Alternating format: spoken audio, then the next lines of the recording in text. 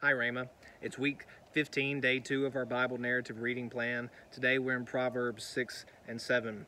Here, uh, Solomon, as he's giving us these Proverbs, he's recorded them, but he originally gave them uh, to his son. Uh, you see that refrain often throughout these early Proverbs. Proverbs 1 through 9, my son, my son, hear your father's teaching, hear your mother's warnings. And uh, so Pro Solomon uh, gave great wisdom. As Solomon was filled with wisdom, he preserved great wisdom to pass on to his children. We know that sadly Solomon did not always obey his own advice. But here in, in, Proverbs 6 and 7, he gives practical warnings, practical advice about two very important areas in life your finances and your sexual life.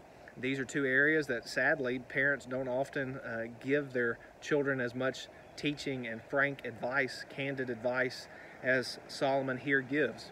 This is important wisdom, and if it is obeyed, uh, it avoids great troubles in life. It avoids great sorrow. Uh, Solomon is teaching his son and thereby teaching us how to handle our finances according to God's word and how to handle our purity, our sexual life according to God's word. And so we need this wisdom just as much today as Solomon and his own children needed it in that day. It begins in chapter 6 with uh, advice, practical teachings about finances.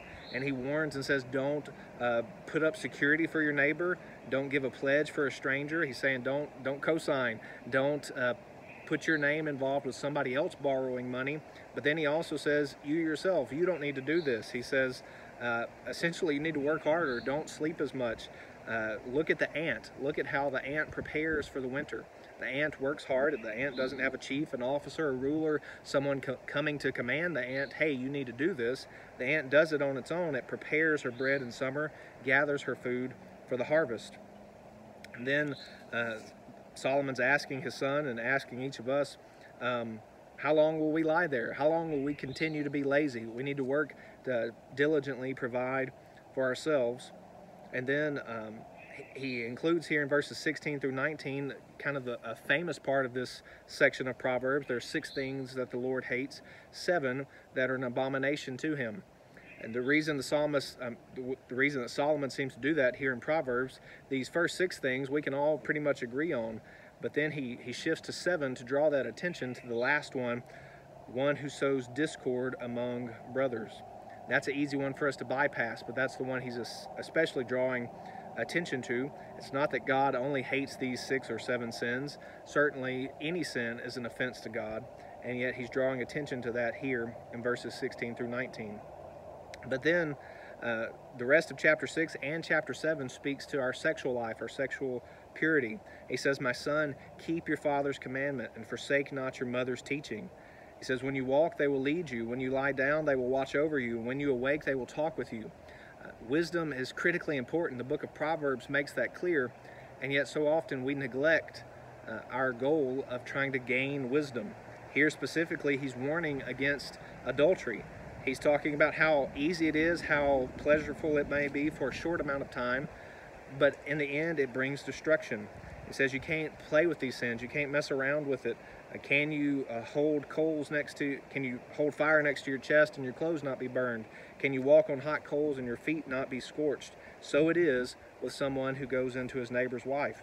He's warning against uh, prostitutes, he's warning against uh, adultery. All of these things bring great destruction because this is not God's plan. Verse 7, he, I mean, chapter 7, he continues this warning My son, keep my words and treasure up my commandments with you.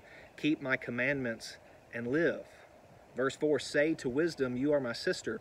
He's personifying wisdom, and he's saying, Keep wisdom as close as you, as you would keep your own sister close. Call insight your intimate friend. And then he describes that temptation, how uh, easy it would be uh, to commit adultery. And then he talks later on in the verses about um, the characteristics of a wayward woman, the characteristics of someone seeking to entice others. Now, in this context, he's speaking to his son, and so he's addressing women, but that doesn't mean, or he's uh, warning his son against women, but that doesn't mean that the reverse isn't true. It doesn't mean that women don't need to learn from this and that men can't do these same things. He's talking about how uh, this forbidden woman, the wayward woman, is uh, setting him up, is seducing him. Uh, she's spreading the couch, she's putting uh, beautiful things, she's attempting to entice him. But what will happen when that enticement comes to fulfillment? Verse 22 All at once he follows her, as an ox goes to slaughter, or as a stag is caught fast till an arrow pierces its liver, as a bird rushes into a, a snare.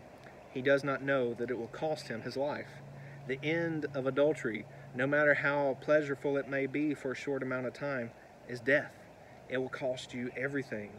And so he warns his sons, Oh, now my sons, listen to me. Be attentive to my words. Skipping down to verse 27 Her house is the way to Sheol, going down to the chambers of death. The consequences of financial poor choices are bad. The consequences of sexual sin is death. It brings punishment, it brings sorrow to every area of your life. That's what Solomon is emphasizing here in chapter 6 and 7 of Proverbs and how well we would do uh, to take heart to what he is saying. Here's a summary of today's reading.